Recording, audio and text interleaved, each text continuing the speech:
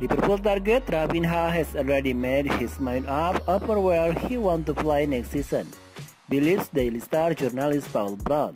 While Brown thinks the Leeds United winger will be a good fit for Jurgen Klopp's side, he feels it might now be too late for the Red to convince him to join them over Barcelona. According to Sport, Raphinha wants to move to Barcelona instead of Liverpool this summer. In fact, the Spanish outlet claimed the 25-year-old is prioritizing the La Liga outfit over the many clubs who have registered an interest in him. It will come as a blow for Liverpool.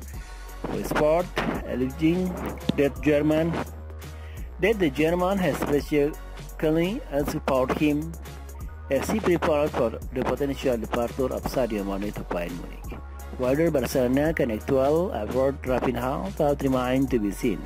As per the Athletic, the Brazilian national could cost as much as 70 million pounds this transfer window. If Barcelona fail to send Raphinha, then perhaps Liverpool will make a serious move in the near future.